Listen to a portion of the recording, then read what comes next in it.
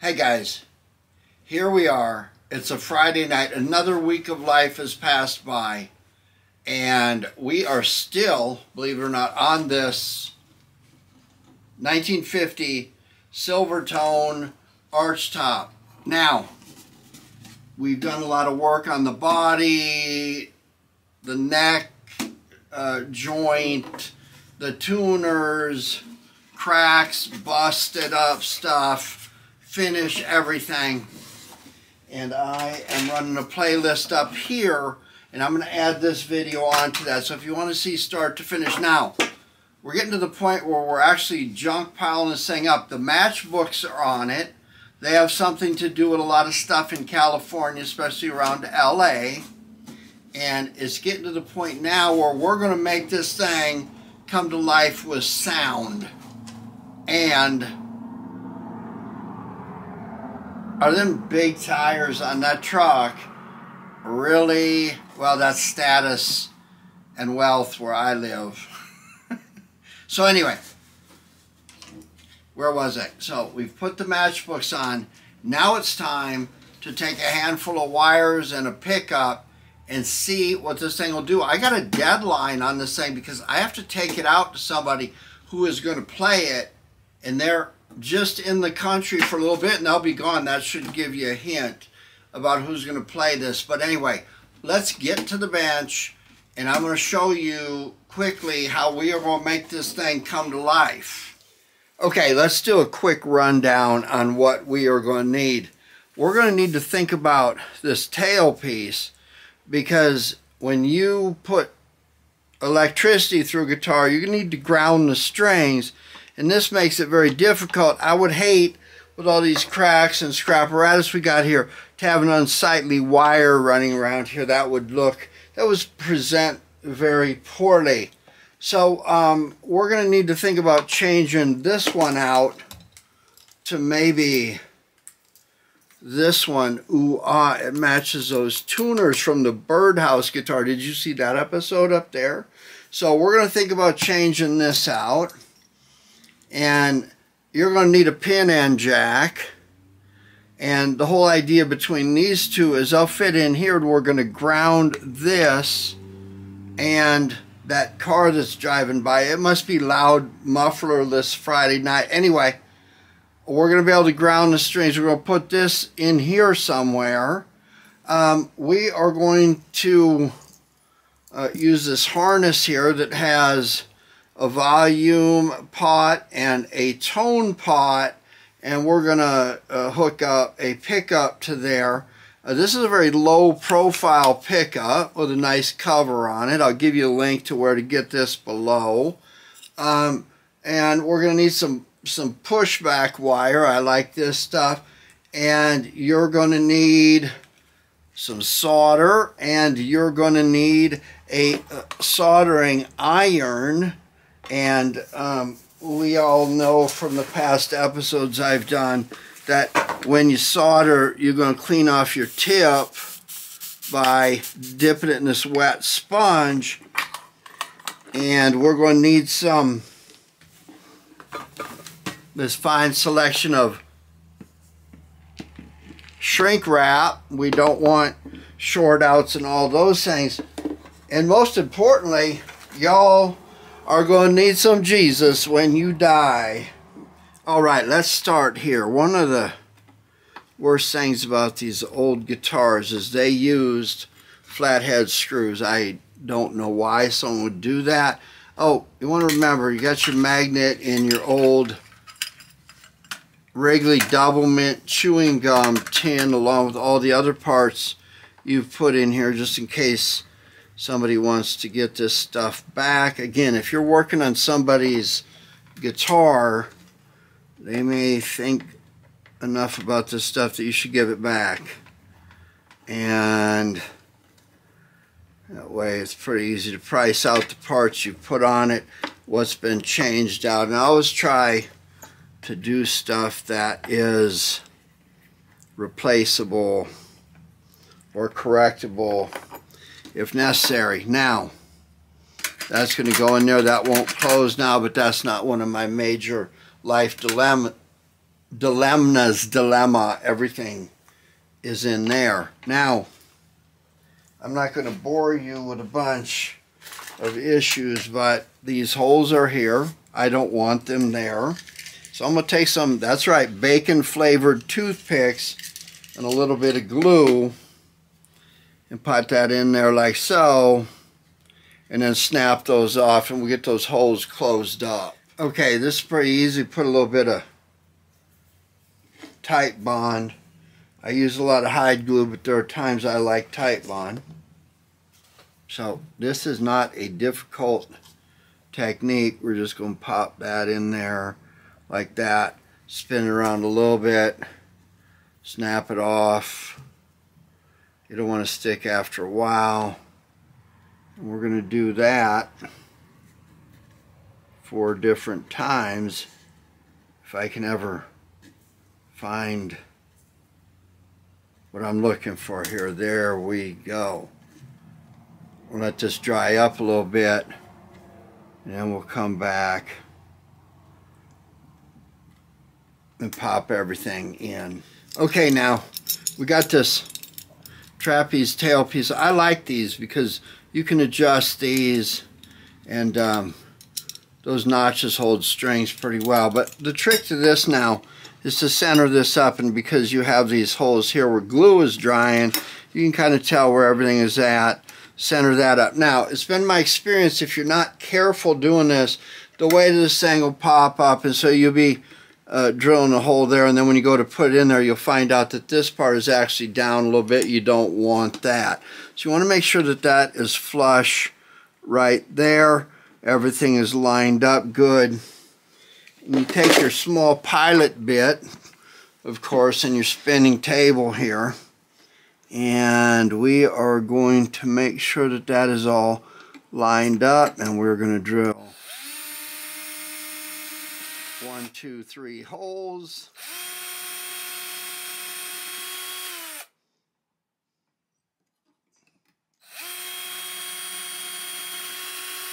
But wait, there's more. We're going to have to drill a hole for a wire that's going to ground the strings to this. So, we are going to find a way to see where our holes are drilled. We got one, two, three. And then we're going to run a piece of this pushback wire through here, connect it over into here where the wiring harness is, and when it comes out of here, we're going to pull this pushback wire like this around it enough where it exits out of here, and then we wrap this end around one of the screws that holds on the trapeze and everything will be ground. You're going to see me using a piece of coat hanger once I get everything drilled and pushed the end of this wire through here. Uh, then I can fish it through the F hole up here with the coat hanger. So let's get our hole drilled again up in here where it's underneath the trapeze and wrapped around one of our screws that will mount the trapeze. Now you want to remember that the tail block is here and it's fairly thick so there's one mounting hole another another there so I think I'm just going to run this through the middle right here like so and then go all the way through till I know that the drill has gotten through the entire tail block.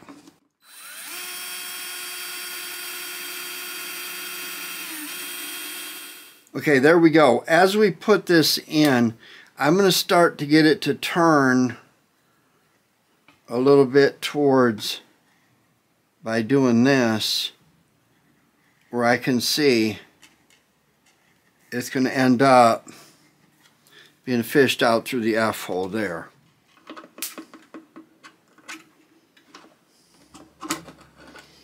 All right, there we go. We're going to put a little bit extra slack and then we are going to cut this off like so here. And we're going to want to wind this around up here so we're not always fishing that back out.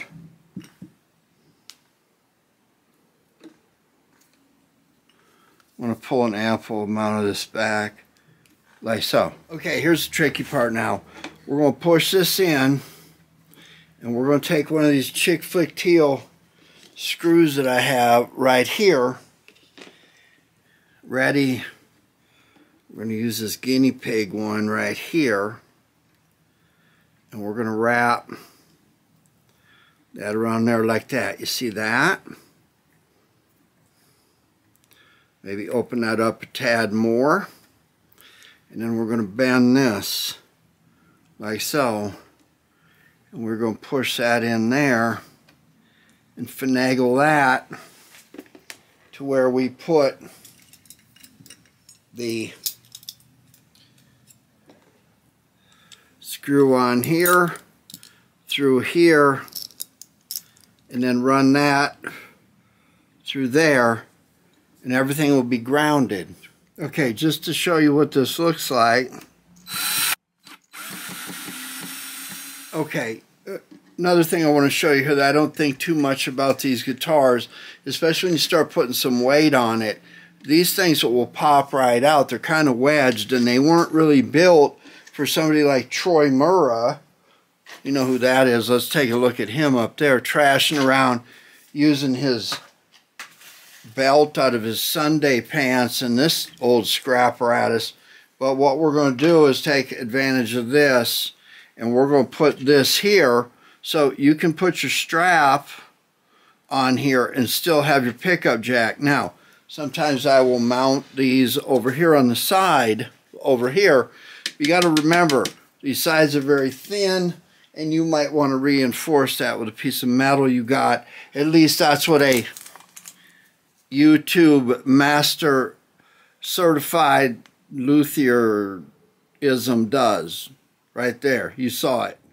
Okay, so we got this harness. It's shielded, which is good. Uh, but I really don't prefer this kind of a jack over this kind. So we're going to take some pushback wire, two different colors. One's ground, one's hot. And we're going to figure out how to lengthen these out a little bit. And we're going to drill this out and push this in here. Again, everything has got to be fished up through an F-hole because our control knobs are going to be right over in this area, right over here. All right, Monster Piece Theater, here we go.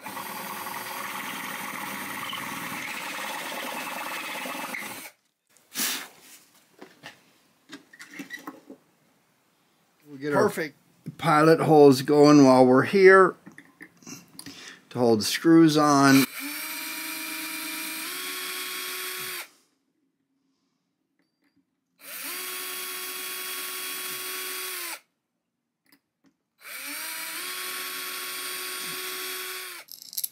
All right.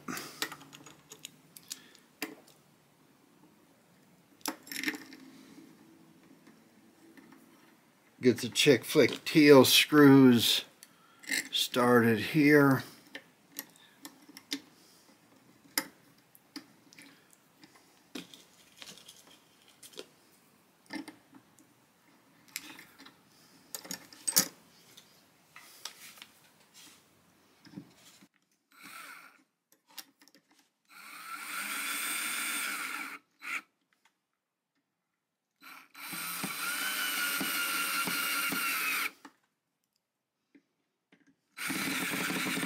Okay, real quick, again, we're going to do a bow in those and we're going to fish this wire. Maybe we can twist it a little bit so it stays together like so.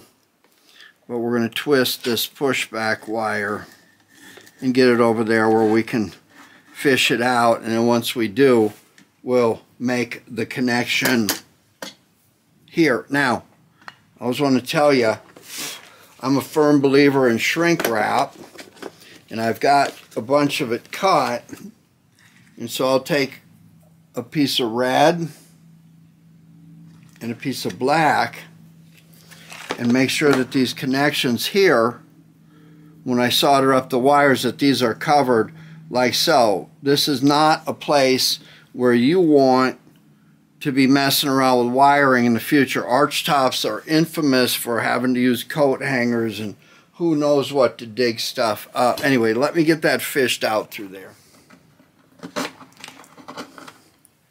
All right, there we go. Again, we want to make sure that we tie these off up here so they don't fall back down through. Get, a, get us enough slack, cut that off, solder this.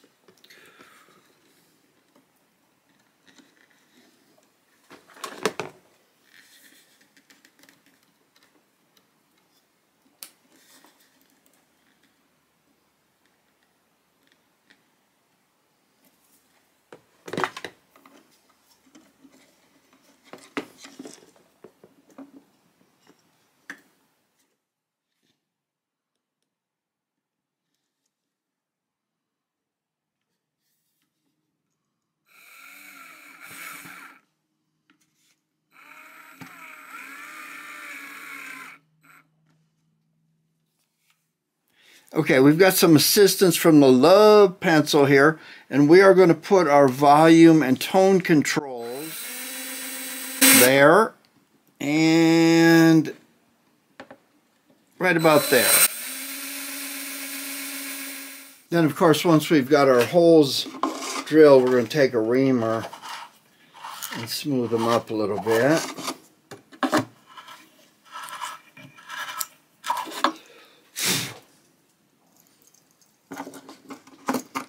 What do you know?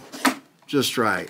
Okay, the rest of this is pretty simple now. We've got uh, the hot and the ground coming off of our um, pin jack and those will be hooked to the uh, ground and hot of this. Then we've got a ground wire that comes off and attaches to our string ground, which is in this loom right here. And then the last thing to do is to hook up the hot and ground to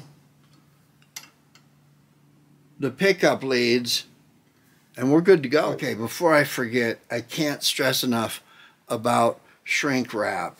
Uh, I'm coming off of the harness where it goes to the jack and I want to use a piece of this red shrink wrap when I make my connection here to here. And then once that's covered up, the ground is okay because when I make these two connections, everything will slip over under this big shrink wrap. Everything will be covered. The last thing you want, again, is an electrical problem inside of an arch top.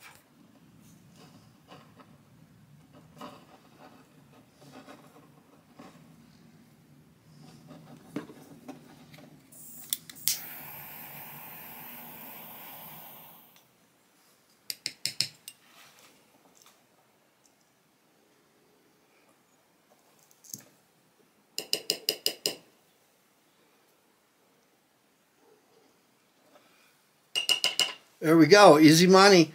Now it's just a matter of figuring out where to put this thing where it's not going to hit the strings because again, student instrument action very low. See you in a minute. Okay guys, wanted to catch up a little bit here.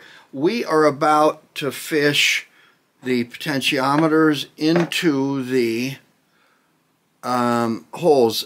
Volume up front, tone in the back.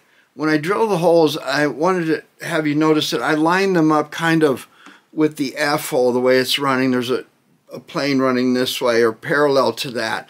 And if I do that, I will not catch the grain. Whenever you run two holes along the same grain plane here and work something and tighten it up, it's going to develop a split. And you can tell this guitar has been prone to splitting from drying out and things. So I take dental floss, fish it down through the holes, put a loop in the end of it like so. I've shown you how to do that with an endless choker. And then fish it through with your coat hanger. Now, I'm going to fish the back one in first of the tone pot. And so I'm going to take the nuts off here, like so. Always have a magnet close by. When you're doing this stuff, it'll try to fall off of here. And then I use these, which are internal tooth washers. You see that? And I will put one of those on here. And that way, when I tighten up everything, this will sit up against the bottom inside of the soundboard, which is the top of the guitar, and it will stop these things from turning. Turning potentiometers, after a while, turn into broken wires, and again, you don't want to fish things out of an arch top. So, this part is basically taking this big loop, which I just dropped in there, which is why I think half the reason I work on arch tops is no one else will. But you get used to problems like that. It kind of develops patience. Anyway, you're going to take this, draw a loop, like so. Make sure that your tooth washer is on here. You need seven hands to do this with. And then we're going to tie this onto here down in that slot right there and tighten everything up. Now, if you put that loop down in here, the further down it is, the more this is going to want to tilt. And so when you try to pop this in, it's going to fight you the whole time. And now everything is trying to wind up around my wire harness, which I have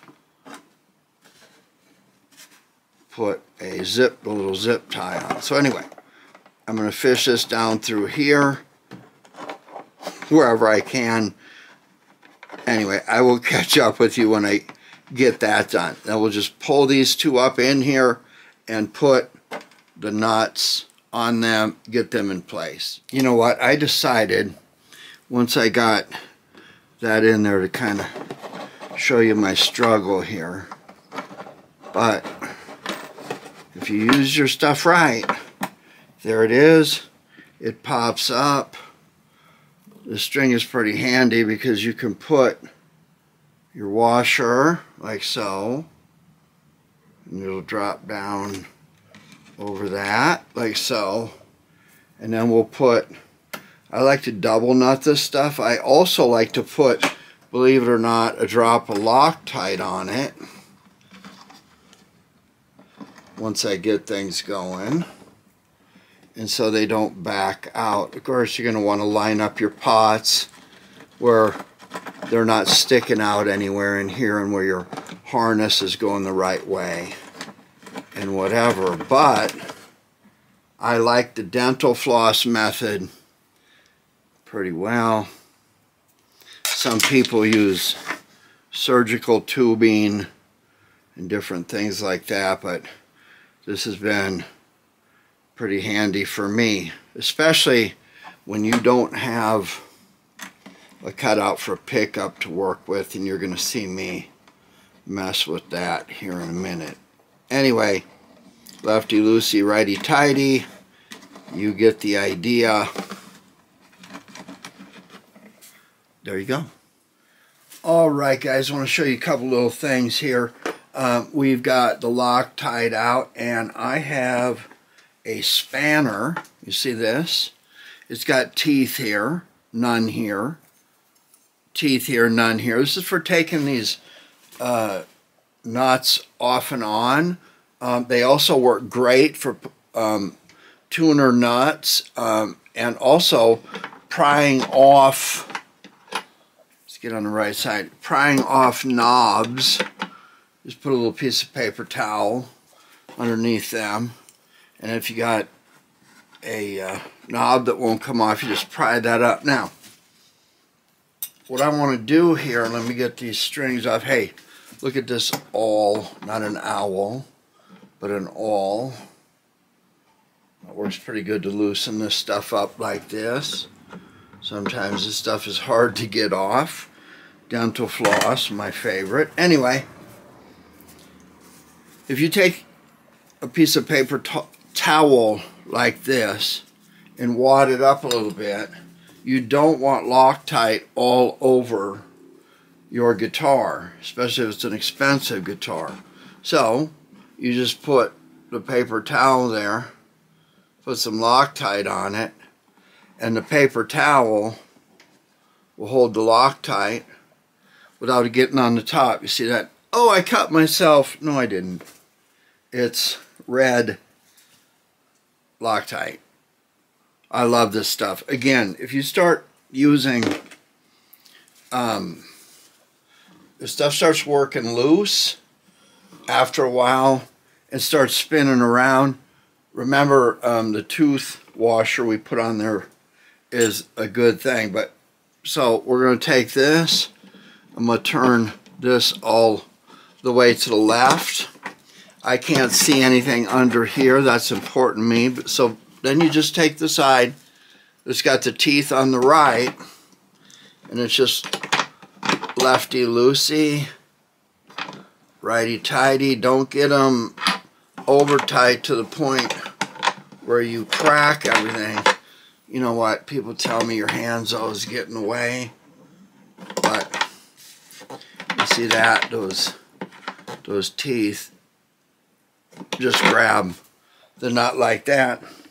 And then whether some people are do or don't, I always double knot my potentiometers.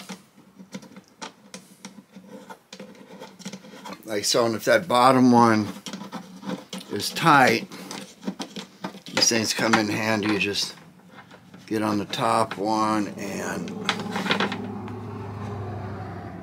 crank that one down.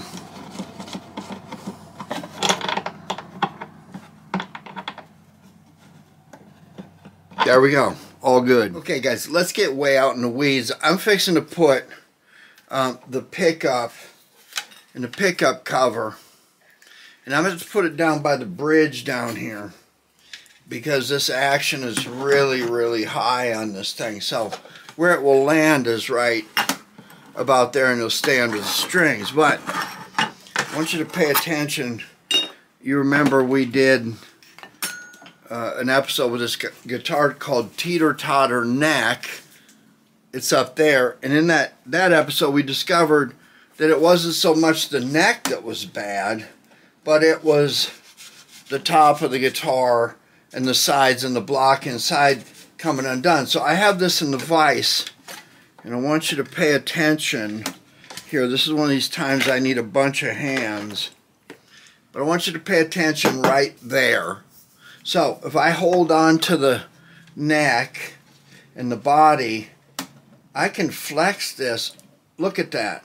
There is a good 16th of an inch right there. So when you're talking about action, on one of these things I call a student instrument with a very shallow uh, fingerboard, a 16th of an inch here means a lot in the neck angle down there tilting back like so. So while I'm here, I have a 16th inch piece of veneer cherry and I'm just going to take my love pencil here, ooh hot, and I'm going to put this at the uh, fret where the fingerboard ends and I'm going to make a mark over here and one here. I'm going to cut this section out and I'm going to taper this end on a belt sander because you can see that we will be able to slip that right in there and that will in effect pitch that neck back up and give us a little bit better clearance back here. See you in a minute. All right, we'll put some tape right along there. Do the other side the same way. And let's take a look. Got this piece of 16th inch cherry wood veneer. I took this edge of the belt sander, thinned it down, so there's a taper to it. And now what I'm going to do is I'm going to put some hide glue. The reason I'm using hide glue is because if I ever need to loosen this up, I'm going to be able to heat it up with a heat gun or a hot palette knife. I'm going to put this here just in case. And I will be able to take this off. If you use something else, it's not going to work. So we're just going to put a little hide glue on the top and bottom of this here. And then when everything gets strung up here, a string tension is going to pull down and it's going to stabilize everything from sucking down more. So we're just going to put that in there like this. And I am going to flex this down just a little bit. And we're going to push that into there like so until we get to the edge.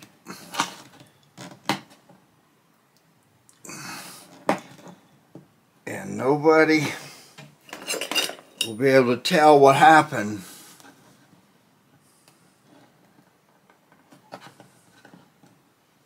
except you all.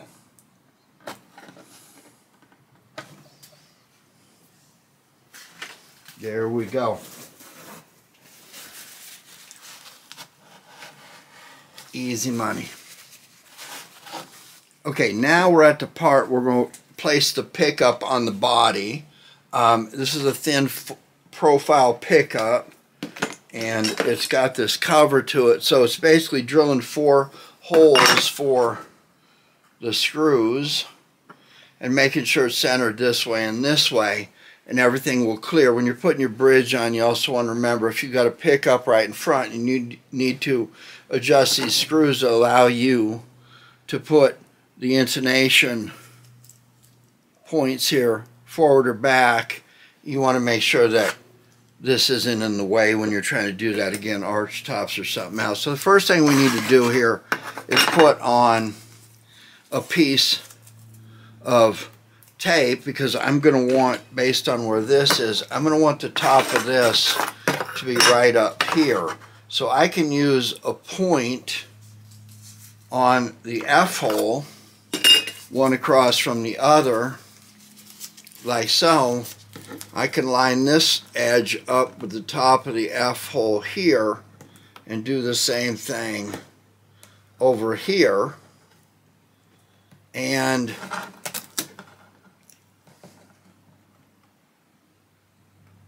I'll be good to go as far as straight. Then I take a, a straight edge here and I come down and I mark here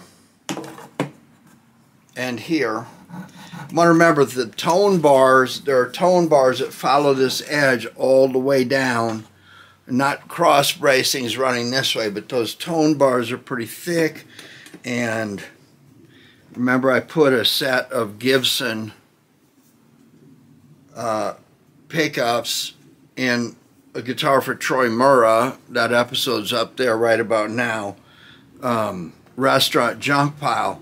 So cutting into those things is kind of a pain here. But now I can take my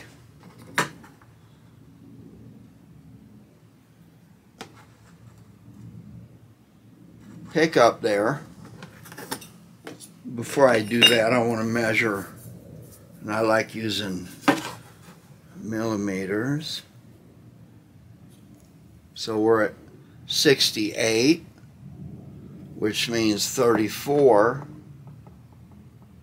is the center right there. And if I take this and do the same thing,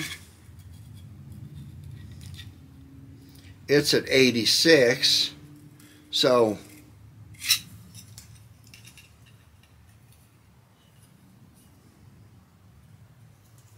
Forty-three is the center of that.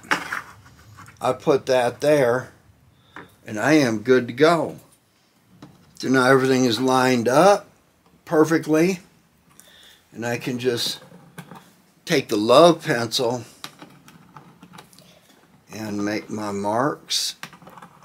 And I'm going to use a very small bit to drill pilot holes there very carefully.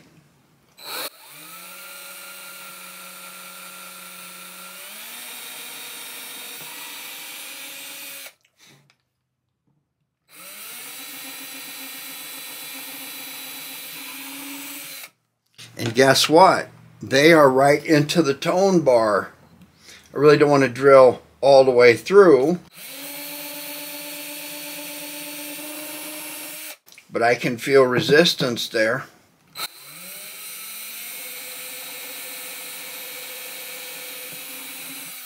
And then, oh, I have to show you a little trick.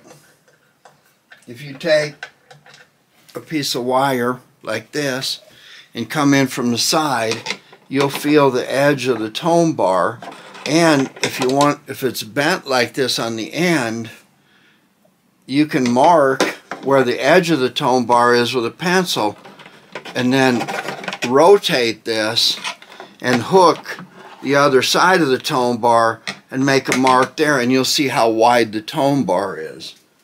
You're welcome. Anyway, the wire for the pickup is going to have to go through a hole in the body midway. And again, I don't want to hit the tone bar on this one. Hole's going to be a little bit bigger. I'm going to fish that down there through the hole, hook this all up, and then bundle it all up and use one of these mini zip ties, and we're going to be good to go.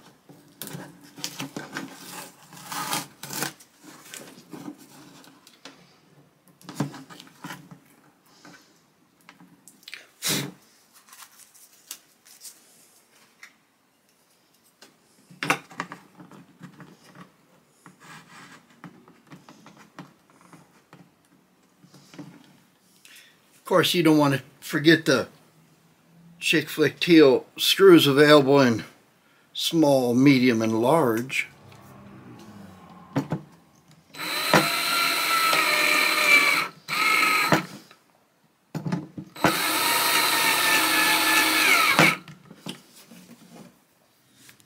Alrighty then, I think this is a good place to end this next to last episode about this 1950s Silvertone uh, guitar. I've done a lot to it, and this episode's plenty long already. So, we're going to add this episode to the playlist up there, and we're going to put one more on the end when I show you everything I've done to it and take it to someone who can play just about anything. If you haven't, give me a like and a subscribe. And just remember, the reason I went through all this with this guitar is to basically show you when you pick something up really cheap, how many hours you're going to put into it to fix the things that are typically wrong with these guitars. So when you start adding up those hours and the parts and things like that, you start to figure out pretty quick that the only way to make these things valuable is to individualize them to a person, and that person, I don't know who likes a collection of yard sales scrapparatus all thrown together, but apparently there's a market out there because y'all watching me, right? Okay, hey, thanks a lot. Hang with me and watch for next time when you finally get to hear this thing in the hands of somebody that's really good. See you then.